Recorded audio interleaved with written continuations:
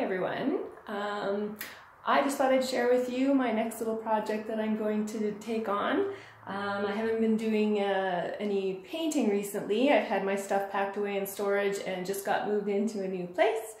Um, so I bought off a marketplace, if you can see in the background, it is a bed frame and there's a headboard there and then right here we have the footboard and then the side rails are on the floor but I am going to paint it. Um, so what I've done so far is sanded it lightly with some just some flexible 220 and 180 grit sandpaper, just giving it a nice light sand. And um, I am going to paint it. Um, what I'm going to do is paint it actually a darker gray and then do a lighter gray wash over the top so that in all this um, detail here, I don't know if you can see it, um, it's almost, you can pick it up from the sand because I've just sanded it, so it's going to pick up all the detail. Anyways, um, so next I will be mixing up some paint and making my own chalk paint doing that, um, and I will show you how I do that. So for mixing my paint um, and making chalk paint, it's really easy and a lot cheaper because chalk paint can get quite pricey and you don't have as many colors to choose from. So I, you can make your own by adding plaster of Paris. So for every eight ounces of color, and you can get any color that you want, and um, you will mix two and a half teaspoons of plaster of Paris plus one tablespoon of water to your paint, and then that creates a chalk paint. And.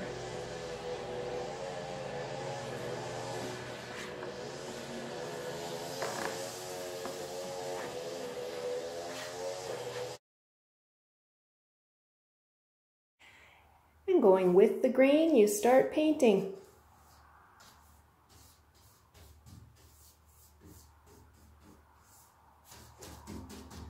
Making sure you get in all the grooves.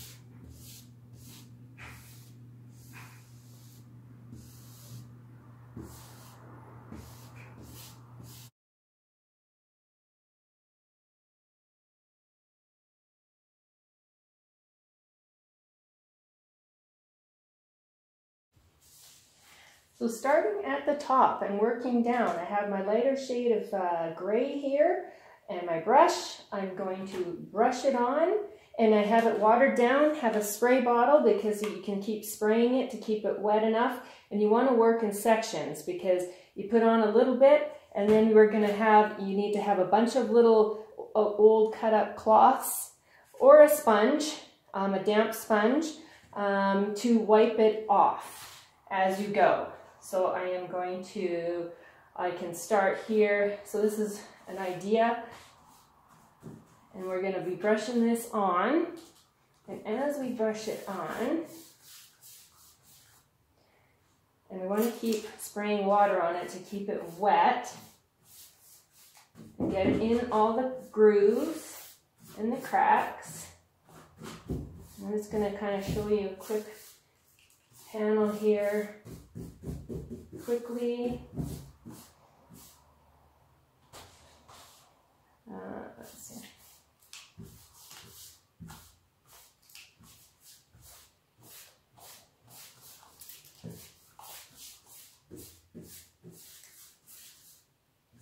Keeping it wet. So I think the sponge nice and wet. and You want to probably work in big these flat sections all at once.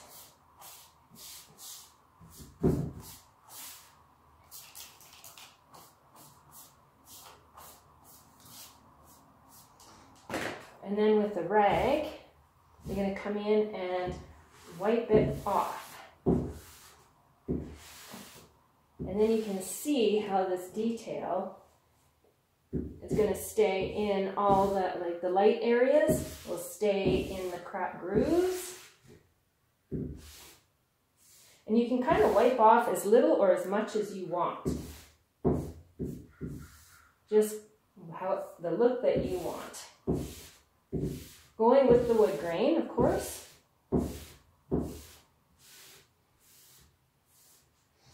And it, you don't need to have it perfect. If it starts to dry, you can take a wet sponge to reactivate some of the paint down here.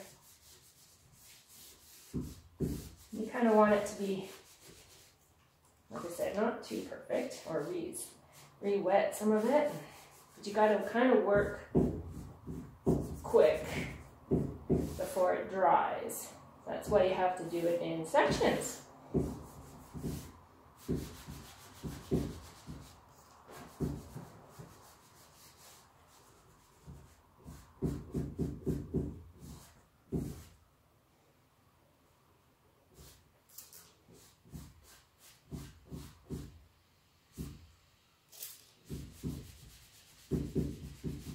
Starts to dry, you just rub it a little bit harder if you don't because you can always uh, remove it and reapply it if it's you're not really happy with the look that you were getting. You gotta do that quick.